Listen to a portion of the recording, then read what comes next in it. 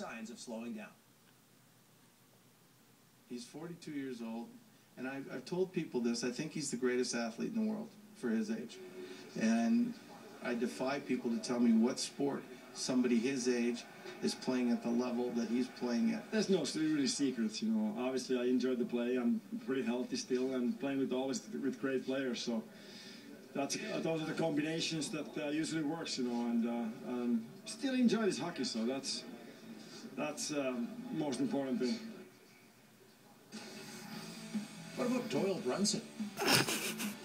Ducks in Calgary. Flames have lost six of the last eight to the Ducks. Just Oh, 106 shit, in. dude.